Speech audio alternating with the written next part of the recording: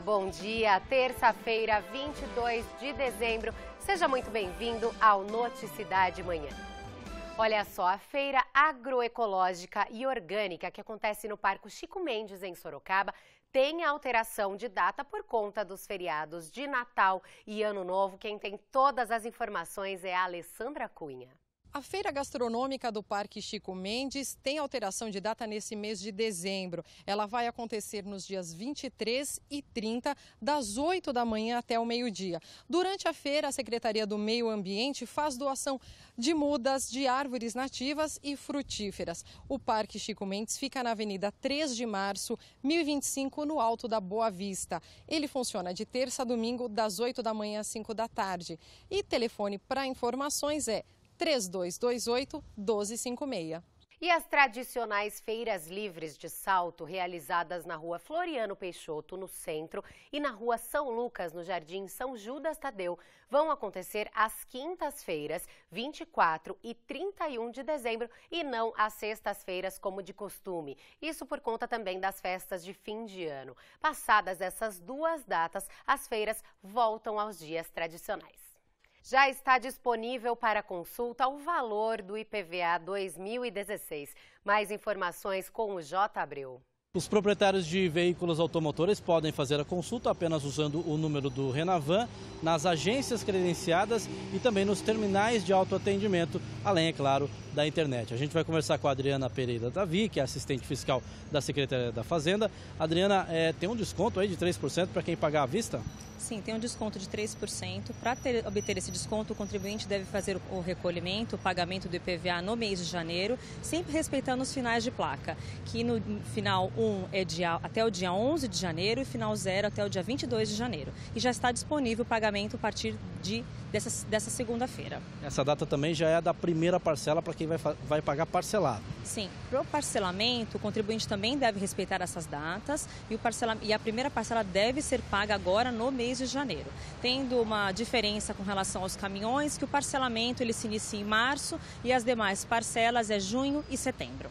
Aquele papelzinho que chega na casa da gente, na verdade, não é um boleto nem guia de pagamento, né? Não, aquilo é um aviso de vencimento. Se o contribuinte não receber o aviso de vencimento, ele deve acessar o site da Fazenda e lá ele consegue obter todas as informações sobre o pagamento do IPVA de 2016. Então, se não recebeu, mesmo assim tem que pagar. Sim, tem que pagar. E aí, para fazer o pagamento, ele se dirige a uma agência bancária credenciada da Secretaria da Fazenda com o número do Renavan. E ele pode fazer o recolhimento através dos guichês de caixa, os terminais de autoatendimento, pela internet, através de débito agendado ou outro canal disponível pela instituição financeira. Ok, obrigado pelas informações. Então, quem quiser fazer a consulta do IPVA, pode acessar o site www.ipva.fazenda.sp.gov.br. E agora a gente fala do tempo aqui no Noticidade Manhã. Hoje é o primeiro dia do verão, por isso a terça-feira deve ser quente e ensolarada em toda a nossa região. Como característica da estação, à tarde e à noite pode chover. As temperaturas hoje em Sorocaba ficam entre 20 e 32 graus. Veja a previsão para outras cidades.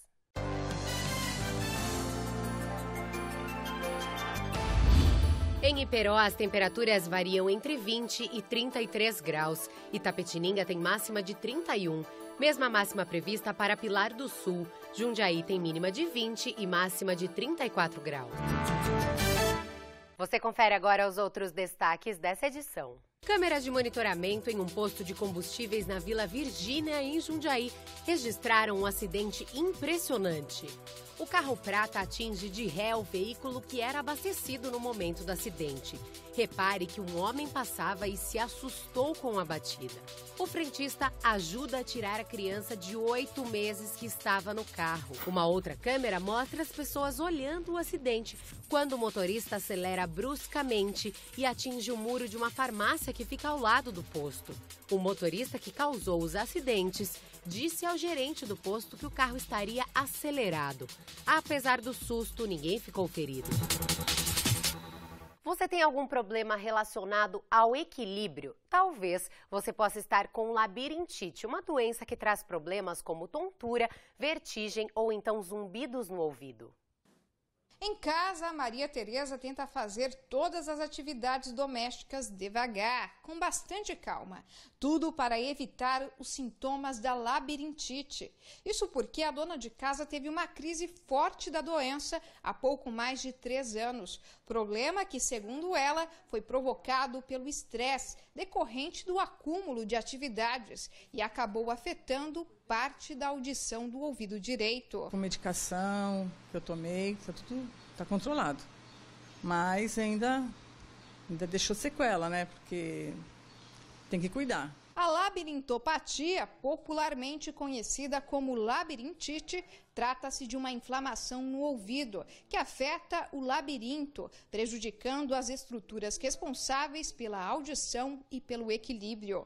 O sintoma mais comum é a vertigem, que pode surgir com diferentes intensidades dependendo de cada caso. A doença é mais comum em pessoas com idade acima de 50 anos e em pacientes com outros problemas de saúde, como colesterol alto, hipertensão e diabetes, e também também pode estar relacionada a fatores emocionais, como estresse e depressão.